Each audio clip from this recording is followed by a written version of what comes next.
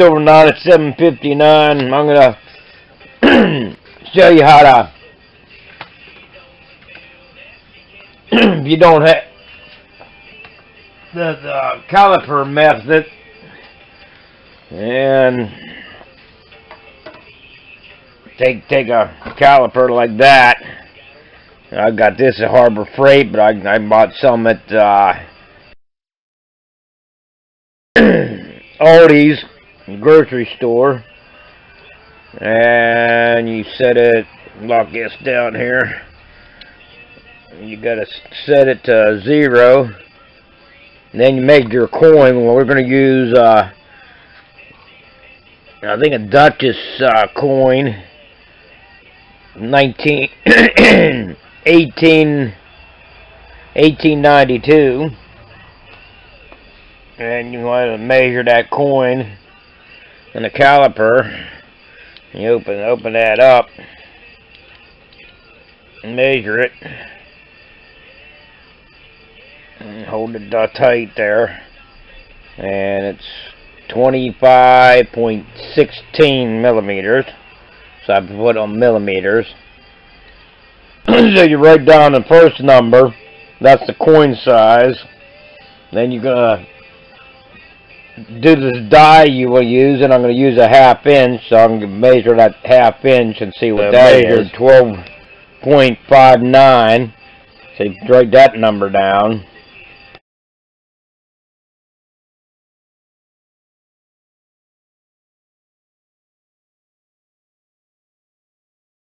So I ain't too too good in the math, but it's got 12.57 millimeters. I just do it on a calculator because it's more accurate. And then you divide it by two.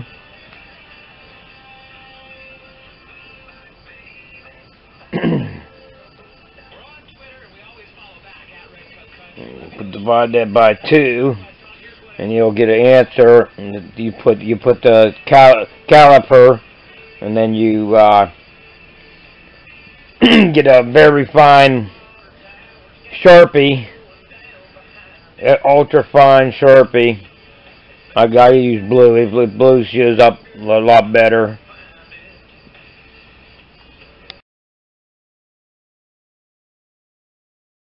and your result is 6.285. I'll round that off. 62 point. I put 6.29 and round that off at 5.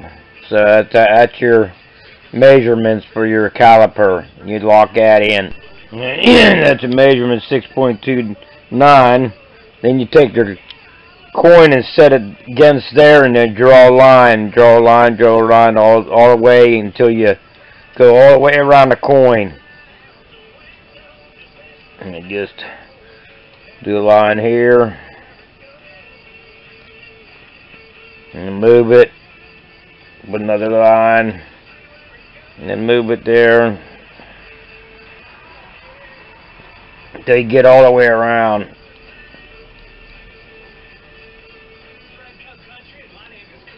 And your final results is that. Like that.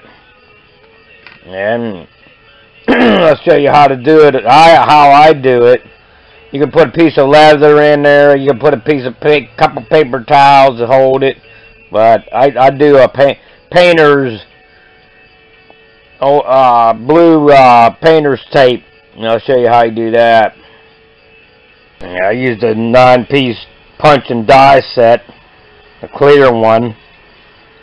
And I'm going to do a half inch die there.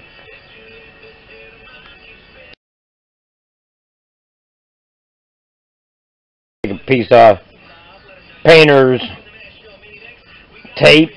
And I put it on my clothes and not make it not as sticky I put it on my cup, my pant pants leg or something like that. Right there. And I peel it off and uh, then I put put it on put the coin in here probably about right here because I want to use it again So you put put it put it like that.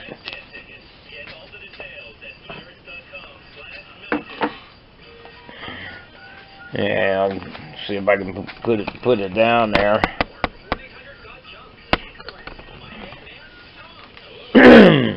Slide tape through there. Oop. Slide that tape through there.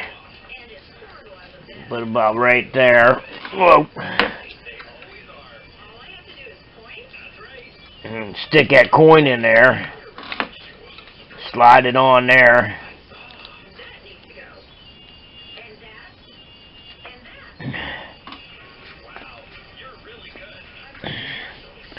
And then I go to the table and I'll meet you over there. The nine, the nine piece punch and die set.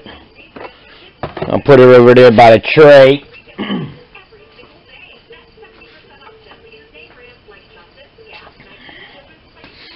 right there. And I'd line, I would line that to the Sharpie mark all the way around. Get as close as I can, not as center right, and then I put them sides on there, and you're ready to punch.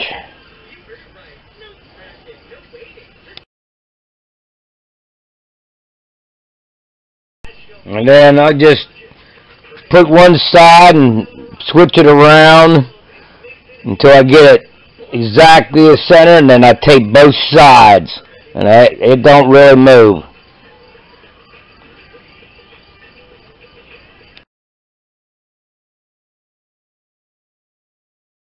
And I take the die, like my punch, and punch it out, put it in there. I always put uh, some dry lube on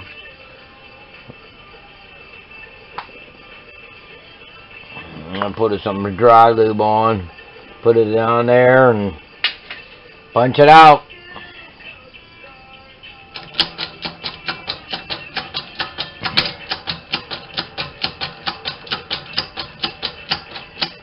It nice and tight.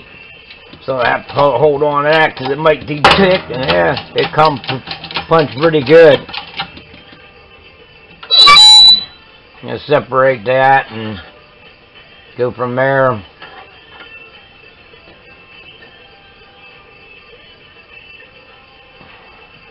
And it's what what's nice about this tray. I slide it underneath that six ton arbor press.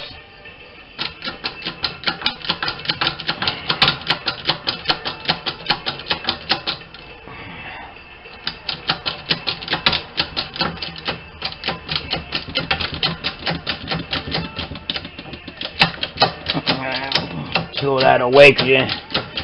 So all the way through the coin it ain't gonna move.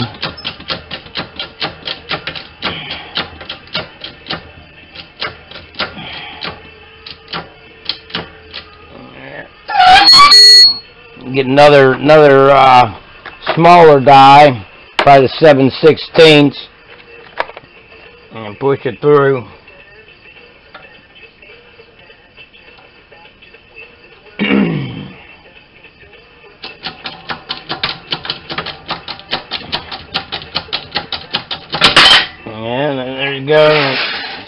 Puts in the tray and you're done.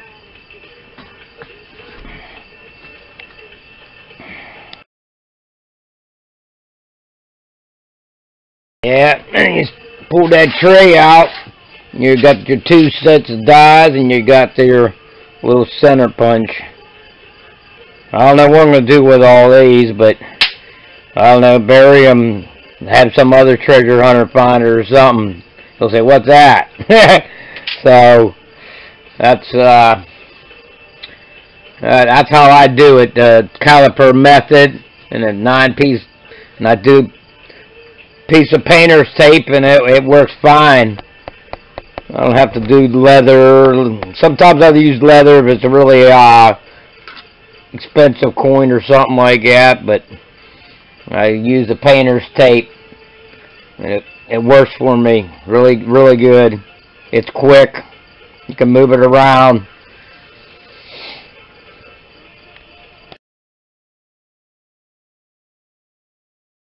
Did the Canadian cent, one cent.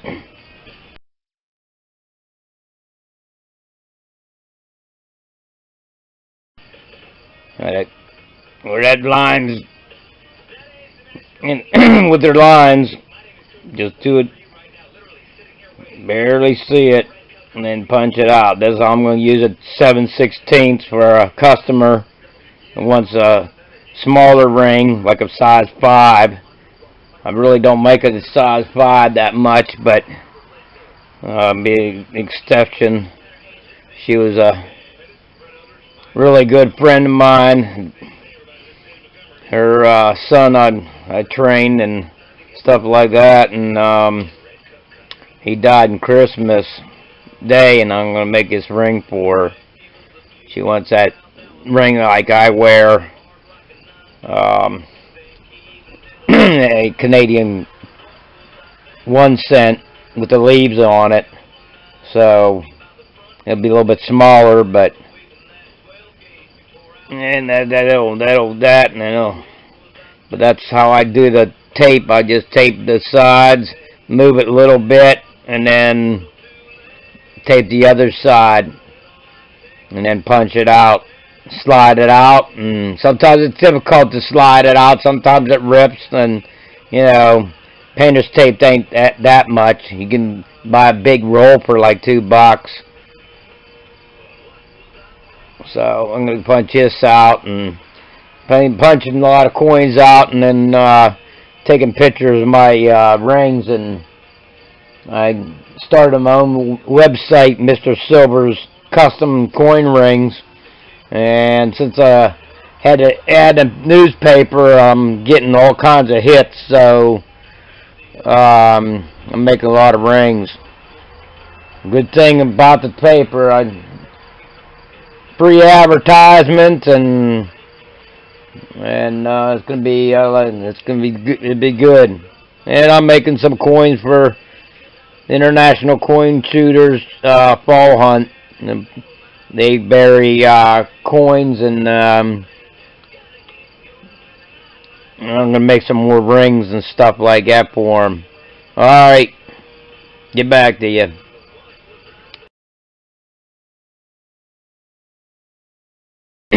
that one that one slides out easy. A lot of play there. I'll slide out. A thicker coin like I just did it. And it kind of ripped and then you have that. And then I use it again. not sticky, just enough to stick it on the sides. So I use that by three or four coins, I throw it away.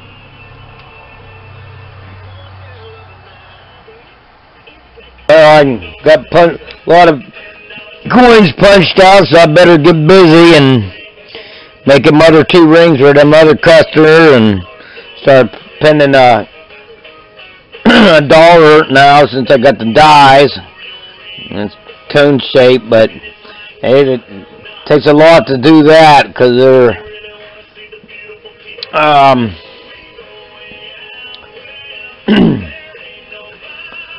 although it's really thick.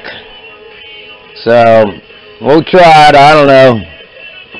I mean, I don't think I make too many gold. Uh, maybe gold dollars or something that's thinner, but that's that's that's pretty tough sometimes.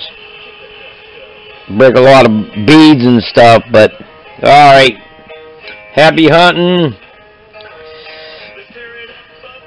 See you next time.